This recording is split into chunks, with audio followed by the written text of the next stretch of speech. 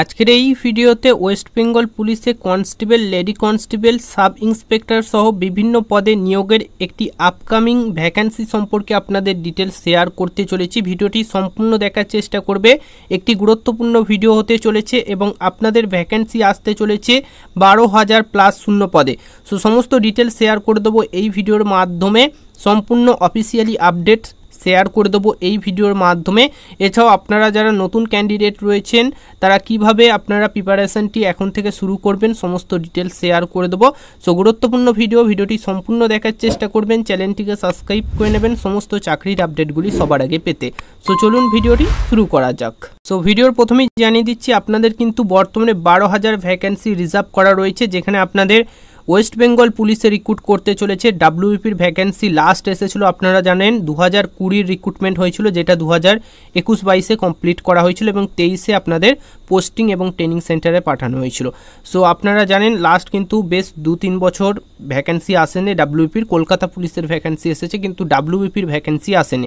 So এবারে কিন্তু vacancy আসতে চলেছে এবং হিউজ পরিমাণে আগের মতোই ভ্যাকেন্সি আসতে চলেছে। এখনও পর্যন্ত বারো হাজার ভ্যাকেন্সি রিজার্ভ করা রয়েছে, যার মধ্যে আট হাজার থেকে ন হাজার ভ্যাকেন্সি আপনাদের বেরোতে চলেছে নভেম্বর থেকে ডিসেম্বর মাসে। সো আপনাদের নভেম্বর মাস বা ডিসেম্বর মাসের মধ্যে আপনাদের কিন্তু ফর্ম ফিল শুরু হয়ে যাবে এবং সঠিকভাবে যদি আপডেটটি বলি, আপনাদের কিন্তু কলকাতা পুলিশের যে মাঠটি ওয়েস্ট বেঙ্গল পুলিশের মাধ্যমে হচ্ছে বা হবে, আপনারা জানেন পুজোর মধ্যেই আপনাদের রেজাল্ট দেওয়ার সম্ভাবনা রয়েছে শেষের দিকে এবং পুজোর পরই আপনাদের মাঠ শুরু করে দেওয়ার কথা রয়েছে। সো আপনাদের এই মাঠটি শেষ হলেই আপনাদের কিন্তু ওয়েস্ট বেঙ্গল পুলিশের ভ্যাকান্সি আসতে চলেছে। যেখানে কনস্টেবলের ভ্যাকান্সি এবং লেডি কনস্টেবলের ভ্যাকান্সি আট থেকে ন হাজার মতো থাকবে এবং বাকি কিছু ভ্যাকান্সি আপনাদের সাব ইন্সপেক্টরে বেরোতে চলেছে। সো এটা হচ্ছে সম্পূর্ণ আপডেট আপনাদের নভেম্বর থেকে ডিসেম্বর মাসে ভ্যাকেন্সি আসার কথা রয়েছে। আপনারা সোশ্যাল সাইডে আপনারা বিভিন্ন খবর দেখতে পাচ্ছেন। সো বিভিন্ন নোটিশও ভাইরাল হচ্ছে যেগুলো আমি শেয়ার করছি না কারণ আপনারা জানেন বর্তমানে বিভিন্ন সমস্যা হচ্ছে ভাইরাল নোটিশ শেয়ার করার ফলে। সো আমি শেয়ার করছি না, আপনাদের আপডেটটা শুধু জানিয়ে দিচ্ছি। আপনারা সোশ্যাল মিডিয়া প্রত্যেকেই ফলো করেন, প্রত্যেকেই দেখেন। সো আপনারা সকলেই কিন্তু আপডেটটি অলরেডি জেনে গেছেন। সো আজকের এই ভিডিওতে আপনাদের এলিজিবিলিটি ক্রাইটেরিয়া কোন কোন বই পড়বেন, সমস্ত ডিটেলসটা একবার কভার করে দেবো। সো এখানে দেখুন আপনাদের এলিজিবিলিটি ক্রাইটেরিয়ার ক্ষেত্রে মাস্ট বি ইন্ডিয়ান সিটিজেন অর্থাৎ ভারতীয় নাগরিক হতে হবে এবং বয়সের ক্ষেত্রে আঠেরো থেকে সাতাশ বছর পর্যন্ত আবেদন করতে পারবেন। কিন্তু এবছর থেকে আপনাদের তিরিশ বছরও করতে পারে। কারণ আপনারা জানেন এজের কিন্তু একটা ছাড় দেওয়ার কথা ছিল। মাননীয় মুখ্যমন্ত্রী মমতা বন্দ্যোপাধ্যায় জানিয়েছিলেন, বয়সটা তিরিশ বছর পর্যন্ত করা হতে পারে। সো জেনারেলদের তিরিশ বছর পর্যন্ত হয়তো এই রিক্রুটমেন্ট থেকে করতে পারে এবং এসসি এসটিদের জন্য পাঁচ বছরের ছাড় থাকে পঁয়ত্রিশ বছর পর্যন্ত আবেদন করতে পারবেন এবং আপনাদের যে ওবিসি ক্যান্ডিডেট রয়েছে তাদের তিন বছরের ছাড় থাকে আপনারা আঠেরো থেকে তেত্রিশ বছর পর্যন্ত আবেদন করতে পারবেন। এবং আপনাদের এলিজিবিলিটি ক্রাইটেরিয়ার ক্ষেত্রে আপনাদের মাধ্যমিক পাস করতে হবে এবং অনেকেরই বিভিন্ন কমেন্ট করছিলেন, দেখছিলাম যে আপনাদের লেডি কনস্টেবলের ভ্যাকেন্সি বেরিয়েছে বলে, এরপরে রিক্রুটমেন্টে বেরোবে না, অনেকেই বলছিল। সো এরকম নয়, আপনাদের লেডি কনস্টেবলের ভ্যাকেন্সি বেরোলেও নেক্সট যে ভ্যাকেন্সিটা আপনাদের নভেম্বর ডিসেম্বরে আসছে, সেখানেও কিন্তু আপনাদের ভ্যাকেন্সি থাকবে লেডি কনস্টেবলদের জন্য। সো এটা কিন্তু আপনাদের যারা রেলি কনস্টেবল রয়েছে, তাদের জন্য সুখবর। কারণ আপনাদের ডবল ভ্যাকেন্সি আসছে বা একটা হয়ে গেছে। এই বছরই আপনাদের আরেকটি ভ্যাকেন্সি আসছে ওয়েস্ট বেঙ্গল পুলিশে ল্যাঙ্গুয়েজের ক্ষেত্রে অবশ্যই বাংলা অথবা নেপালি ভাষা পড়তে, লিখতে, বলতে জানতে হবে। সেক্ষেত্রে আবেদন করতে পারবেন। হাইটগুলো জানিয়ে দিচ্ছি। কনস্টেবল মেলদের ক্ষেত্রে হাইট অবশ্যই আপনাদের একশো সাতষট্টি সেমি হতে হয় এবং ওয়েট মিনিমাম সাতান্ন কেজি হতে হয় এবং ওয়েটটা আপনাদের বয়স এবং উচ্চতার হিসেবে অবশ্যই রেশিও হিসেবে আপনাদের কিন্তু করা হয়। মিনিমাম সাতান্ন কেজি হলে অনেক সময় আপনাদের মাঠে নিয়ে নেওয়া হয়। এবং চেস্টের ক্ষেত্রে আটাত্তর সেমি মিনিমাম হতে হয় এবং তিরাশি সেমি এক্সপেন্ড করতে হয়। লেডি কনস্টেবলের ক্ষেত্রে আপনাদের একশো ষাট সেমি আপনাদের অবশ্যই হাইট হতে হয় এবং ওয়েট উনপঞ্চাশ কেজি হতে হয়। চেস্টের প্রয়োজন নেই।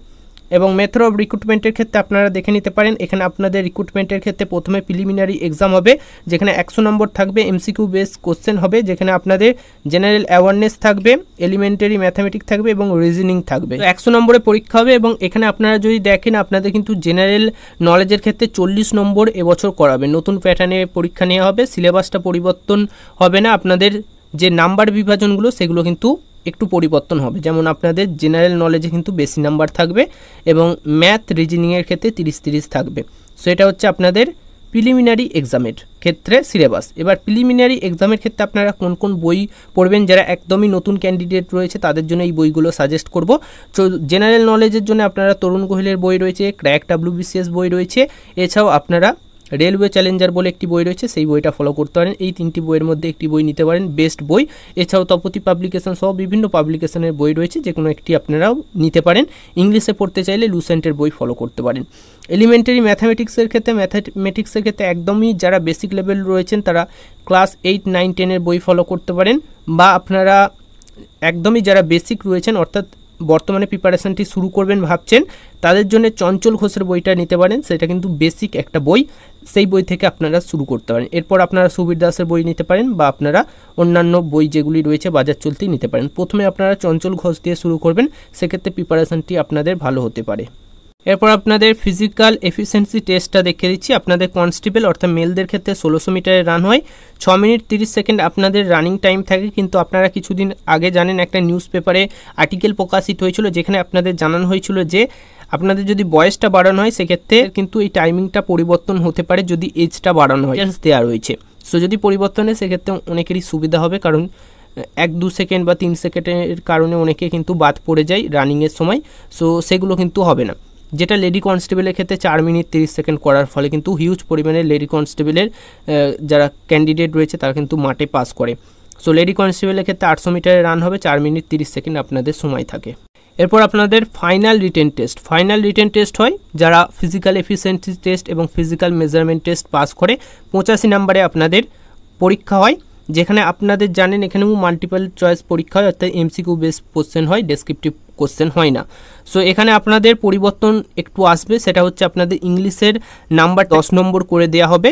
এটা কিন্তু আপনাদের সিলেবাস থাকবে। বাকি সেম থাকবে জেনারেল অ্যাওয়ারনেস বা জিকের ক্ষেত্রে আপনাদের পঁচিশ নম্বর থাকবে, ইংলিশে দশ থাকবে ম্যাথামেটিক্সে পঁচিশ থাকবে রিজনিংয়ে পঁচিশ থাকবে। এটা এরপর ফাইনাল স্টেজ যেটা হচ্ছে আপনাদের ইন্টারভিউ ইন্টারভিউ আপনাদের পনেরো নম্বরে হবে ইন্টারভিউ হয়ে যাবে, এরপরই কিন্তু ফাইনাল লিস্ট তারা পাবলিশ করে দেবে, অর্থাৎ West Bengal police recommend board এভাবেই আপনাদের কমপ্লিট সিলেবাস হতে চলেছে এবং আপনারা অনলাইনে আবেদন করতে পারবেন। নভেম্বর থেকে ডিসেম্বর মাসে আপনাদের কিন্তু নতুন ভ্যাকেন্সি আসতে চলেছে।